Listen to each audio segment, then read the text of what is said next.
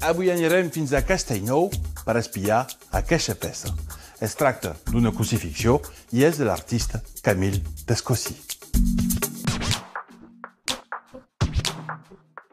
Aquesta peça presentada a l'església de Castellnou va ser pintada al curs dels anys 1970. L'artista Camille Descossí va voler donar la seva representació d'un tema capdalt de la història de l'art, la crucifixió. La seva representació, tot i sent d'estil contemporani, va rectificar la codificació tradicional del suplici de la creu per establir-ne la seva veracitat històrica. Posiciona així els claus als punys i no pas a les palmes de les mans. Priu per la part inferior posiciona de manera correcta els claus als turmells i no pas als peus. També li treu el tapall, invent posterior d'una religió puritana per ensenyar el Crist tal com era, és a dir, nu.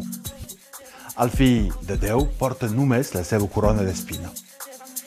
Descosí insisteix en la cara del Crist, mostra la seva cara d'esgotament i de patiment a l'hora del traspàs.